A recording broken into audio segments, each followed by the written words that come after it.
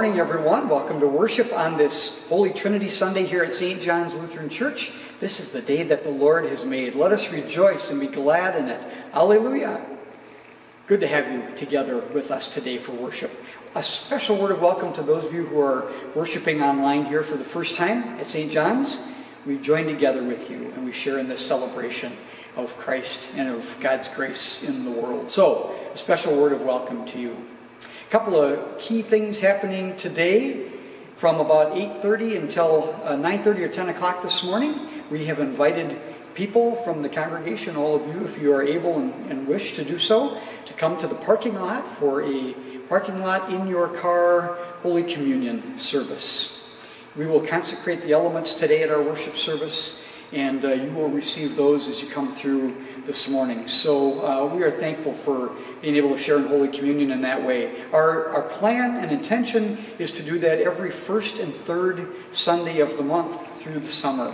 So watch your e-blasts and other uh, information from church here for that uh, for that kind of uh, for that kind of information. But we'll look forward to sharing in Holy Communion with you today. Today is the Sunday of the Holy Trinity. It's always the Sunday that follows Pentecost, and yet another uh, celebration of God and all of God's fullness uh, for us and for the whole creation. So we invite you now to come together and to worship in the light and the love of Jesus Christ. Will you join me first as we confess our sins, ready and waiting to hear the promise of forgiveness through our Lord's grace? Dear friends, we worship as we live in the name of the Father and of the Son and of the Holy Spirit. Amen. Almighty God, to whom all hearts are open, all desires known, and from whom no secrets are hid, cleanse the thoughts of our hearts by the inspiration of your Holy Spirit, that we may perfectly love you and worthily magnify your holy name through Jesus Christ our Lord. Amen. The Holy Scriptures tell us in 1 John that if we say we have no sin, we deceive ourselves, and the truth is not in us. But if we confess our sin, God, who is faithful and just, will forgive our sin and cleanse us from all unrighteousness. Will you please take a few moments now as a time for your own personal meditation and confession?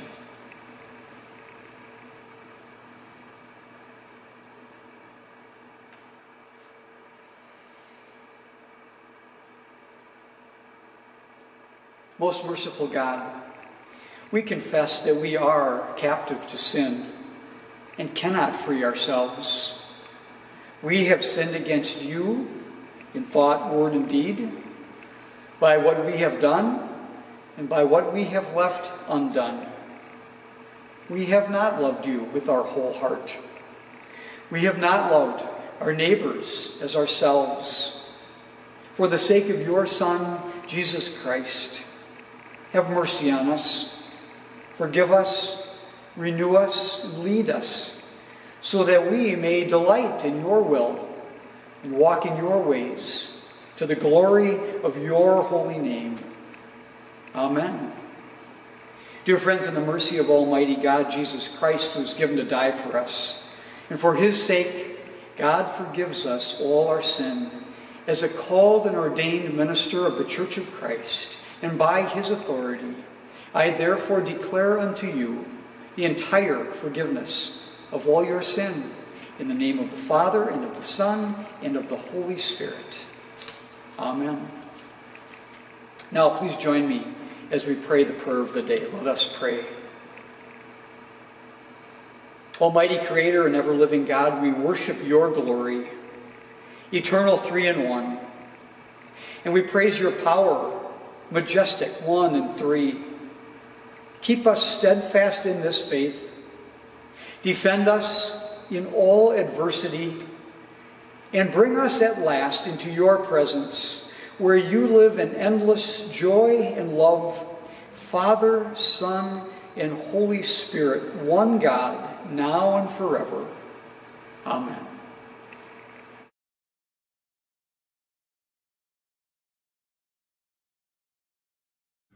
Today's focus reading is from 1 Corinthians chapter 12, verses 14 through 31. Indeed, the body does not consist of one member, but of many. If the foot would say, Because I am not a hand, I do not belong to the body, that would not make it any less a part of the body. And if the ear would say, Because I am not an eye, I do not belong to the body, that would not make it any less a part of the body. If the whole body were an eye, where would the hearing be? If the whole body were hearing, where would the sense of smell be? But as it is, God arranged the members in the body, each one of them as he chose. If all were a single member, where would the body be? As it is, there are many members, yet one body. The eye cannot say to the hand, I have no need of you, nor again the head to the feet, I have no need of you. On the contrary, the members of the body that seem to be weaker are indispensable. And those members of the body that we think less honorable, we clothe in greater honor. And our less respectable members are treated with greater respect, whereas our more respectable members do not need this. But God has so arranged the body, giving the greater honor to the inferior member, that there may be no dissension within the body, but the members may have the same care for one another. If one member suffers, all suffer together with it. If one member is honored, all rejoice together with it. Now you are the body of Christ, and individually members of it. And God has appointed in the church first apostles, second prophets, third teachers, then deeds of power, then gifts of healing, forms of assistance, forms of leadership, various kinds of tongues. Are all apostles? Are all prophets? Are all teachers? Do all work miracles? Do all possess gifts of healing? Do all speak in tongues? Do all interpret? But strive for the greater gifts, and I will show you a still more excellent way. The word of the Lord. Thanks be to God.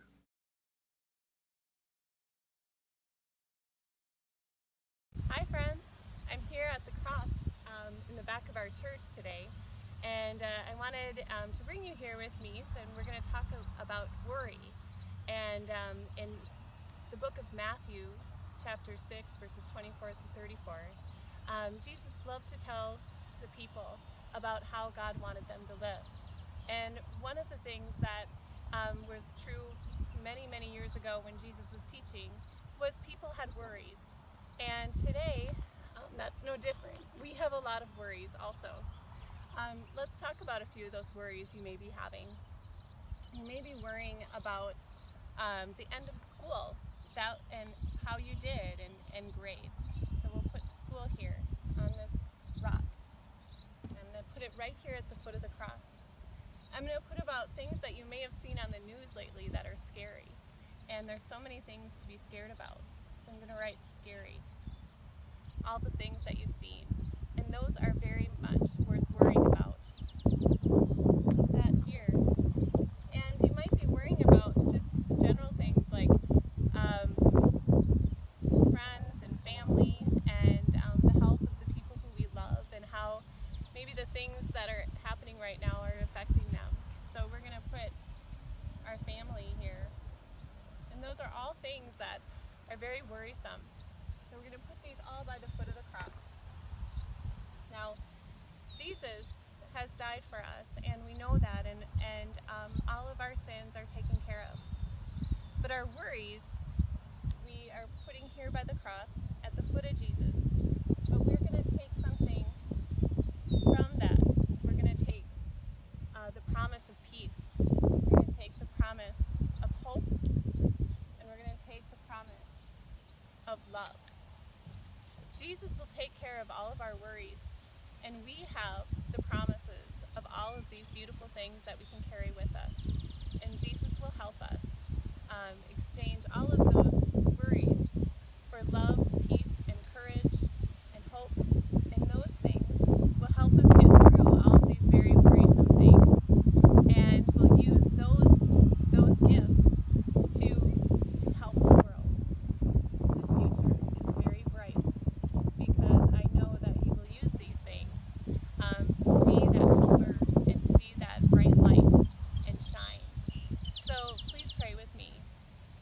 Dear God, thank you for taking our worries and exchanging them for beautiful things of peace, hope, courage, and love. And um, help us take these gifts and share them with the world and be the light of the future. In your name we pray, amen.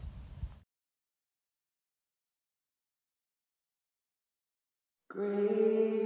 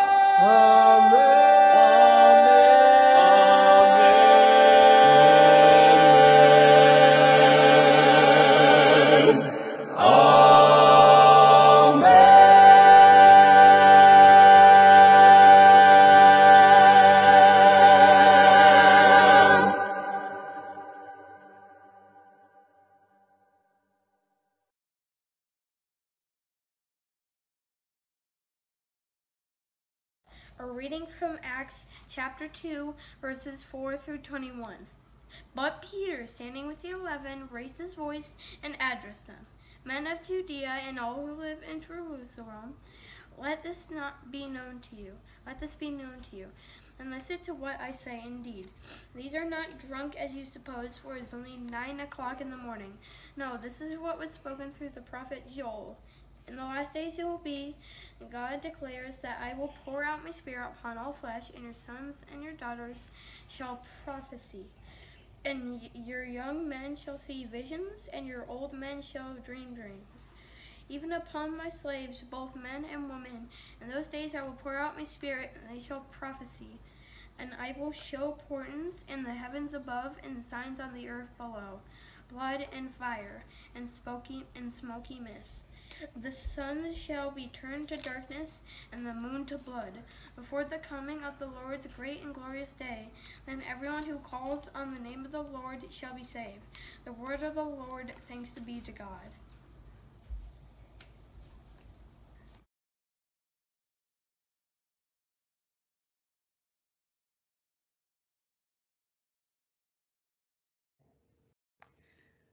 The Holy Gospel according to St. Matthew, the 28th chapter. Now the eleven disciples went to Galilee, to the mountain to which Jesus had directed them. When they saw him, they worshipped him, but some doubted. And Jesus came and said to them, All authority in heaven and on earth has been given to me. Go therefore and make disciples of all nations, baptizing them in the name of the Father and of the Son and of the Holy Spirit and teaching them to obey everything that I have commanded you. And remember, I am with you always to the end of the age. The Gospel of the Lord. Well, a lot has changed since last Trinity Sunday.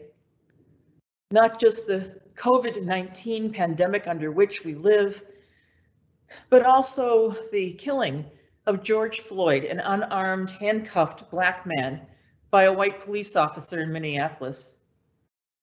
Just a few weeks ago, we learned, many of us, of the, the shooting of Ahmaud Arbery. But since that time, Breonna Taylor, Dreasjon Sean Reed, Tony McDade have also been killed. And how many others whose names are known only to their families and to God?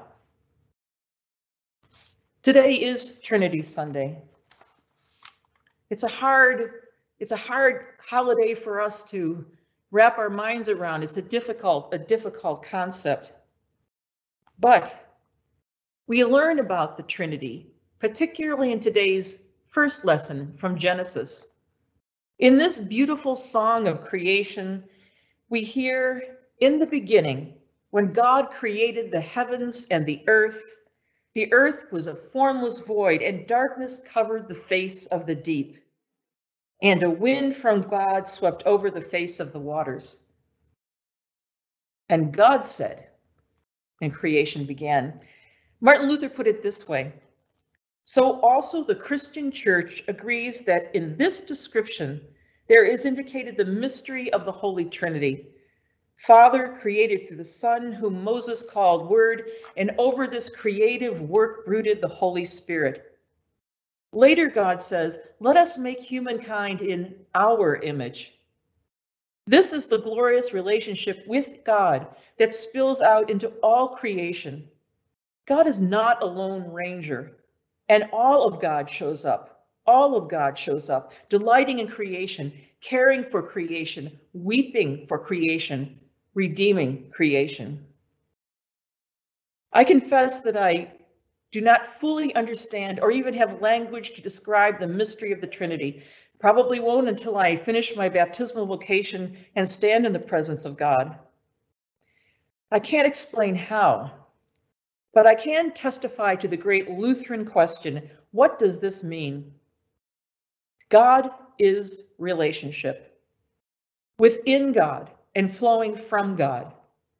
Creation is not is God's decision not to look after God's self, but focuses God's energies on creation. This Trinity, this God, this relationship is outward and overflowing. God is the one who does not grasp.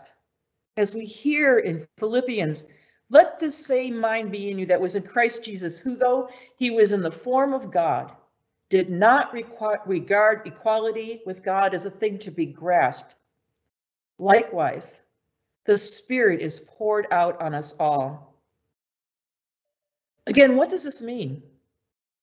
God is relationship within God, with the creation, with humankind, and among humankind. And since we are baptized into the name of the Father and of the Son and of the Holy Spirit, baptized into the Trinity, we are also part of this powerful, dynamic, living, giving, loving relationship with God, in God, with creation, with each other. We are inextricably woven together. No one is alone. No one is beyond the fierce, tender love of God, and God is not far off. God is present in creation, in each of us and in all of us. God is flesh and blood made visible in Jesus of Nazareth and in every human being. God is spirit, closer than our own breath. And this is how God as Trinity shows up today. God is creator. God created diversity, beautiful, vital, alive. We must reject calls for color blindness. That diminishes and washes out uh, God's gift of diversity. We in the white majority can begin to see our siblings of color more clearly. We should be color amazed, recognizing the strength that comes with all our many colors. And God as creator made all of us in God's image. Let us make them in our image. That means all of us are a part of this relational triune God who did create all of humankind, each and every one, and all of us together in God's image. All. And God is the Word made flesh. Our flesh, your flesh, my flesh, George Floyd's flesh. Jesus, in his passion, still suffers with those who suffer. The crucifixion of an unarmed, handcuffed man lying face down on the street is the crucifixion and the passion of our Lord. The crucifixion of so many, too many, black and brown people who live constantly with the violence of racism is the passion of our Lord.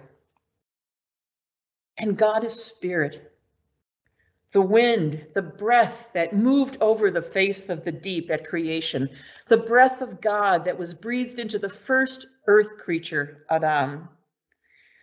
The breath of Jesus as he gave them the gift of the Spirit. The breath crushed out of George Floyd. The breath of life God had given to him. And now, church, we as the baptized, those of us baptized into the Trinity, show up. We work for an end to violence. The violence of racism that kills bodies and maims souls.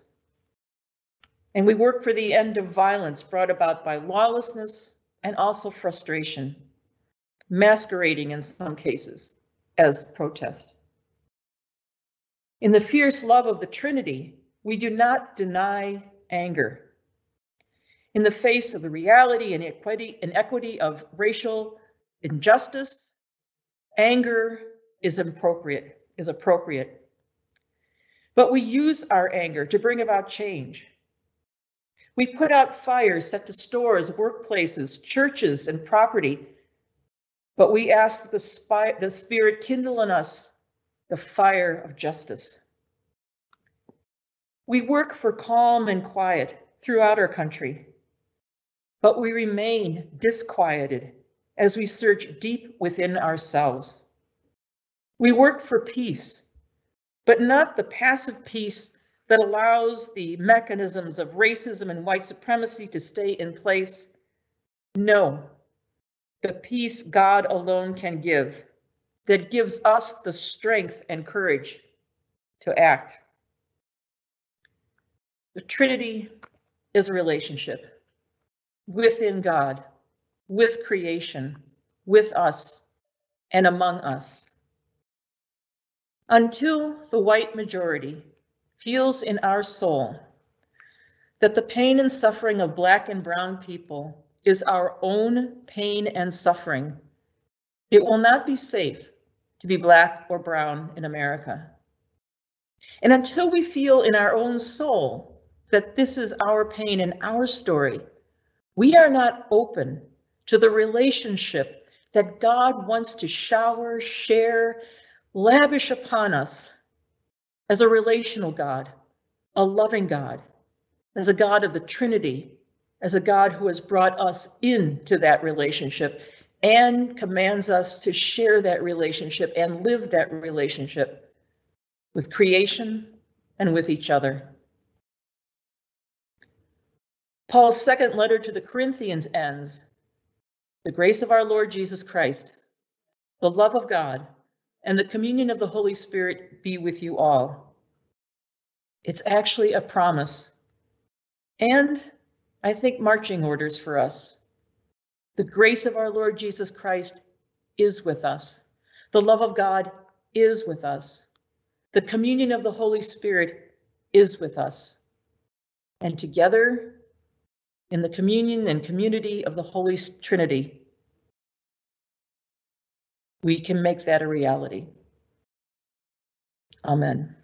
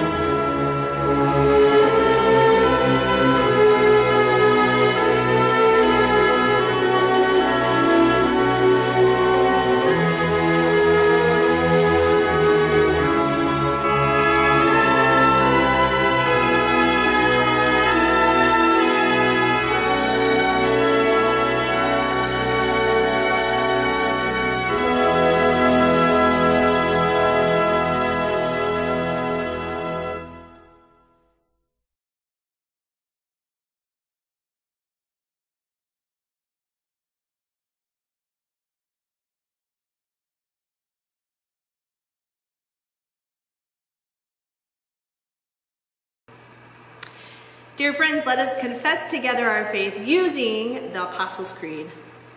I believe in God, the Father Almighty, creator of heaven and earth. I believe in Jesus Christ, God's only Son, our Lord, who was conceived by the Holy Spirit, born of the Virgin Mary, suffered under Pontius Pilate, was crucified, died, and was buried. He descended to the dead. On the third day he rose again. He ascended into heaven. He is seated at the right hand of the Father, and he will come to judge the living and the dead. I believe in the Holy Spirit, the Holy Catholic Church, the communion of saints, the resurrection of the body, the forgiveness of sins, and the life everlasting. Amen.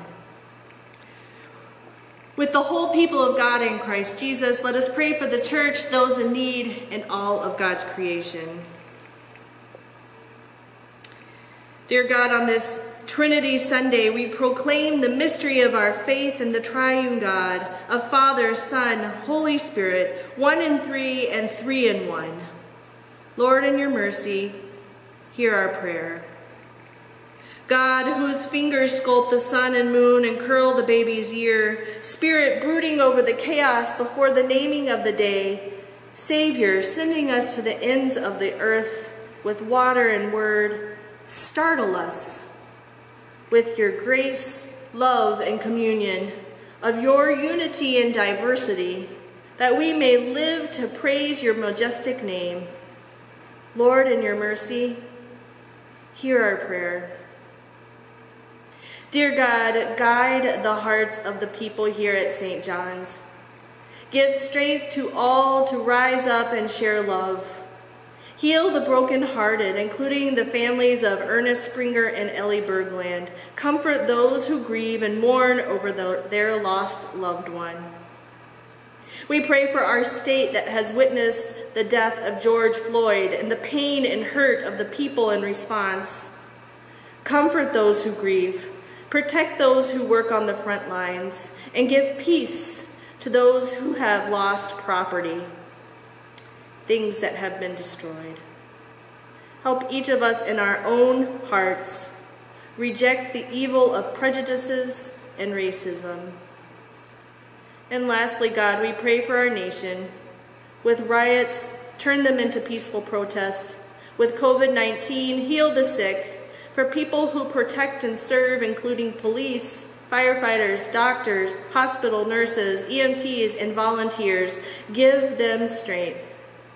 Lord, in your mercy, hear our prayer. Holy, holy, holy God, fill us with your strength and courage, with discernment and compassion, that we may be instruments of justice and love in this world, that it may be on earth as it is in heaven. Amen.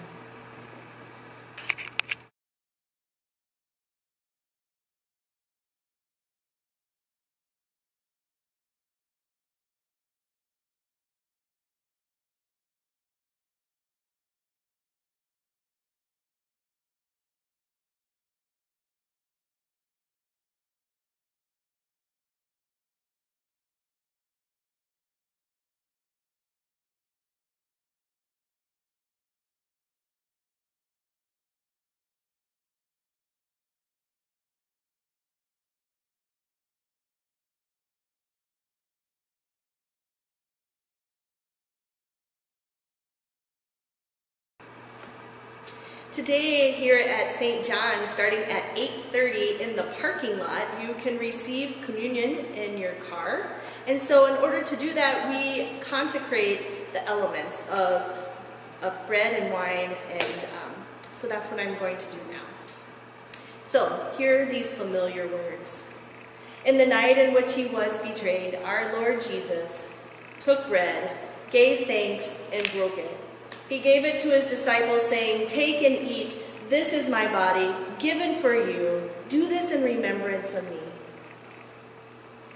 Again, after supper, he took the cup and he gave thanks, saying, This cup is the new covenant in my blood, shed for you and for all people, for the forgiveness of sins. Do this in remembrance of me. If you are wondering if you should come forward in your car, uh, the answer is yes. This is God's table, God's invitation, and we will meet you in the parking lot. There will be ushers to guide you through the process of where you go with your car starting at 8.30 in the morning. Uh, pastor andy and i will be there as well as this consecrated bread and wine. It is given for you for all people for the forgiveness of sins. So let us pray. Lord remember us in your kingdom and teach us to pray our father who art in heaven hallowed be thy name thy kingdom come thy will be done on earth as it is in heaven. Give us this day our daily bread, and forgive us our trespasses, as we forgive those who trespass against us. Lead us not into temptation, but deliver us from evil. For thine is the kingdom, the power, and the glory, forever and ever are yours. Amen. Okay, May the Lord bless you and keep you. May the Lord's face shine upon you and be gracious unto you. May the Lord look upon you with favor and give you peace. In the name of the Father, and of the Son, and of the Holy Spirit. Amen. Dear friends, go in peace, serve the Lord. Thanks be to God, we will.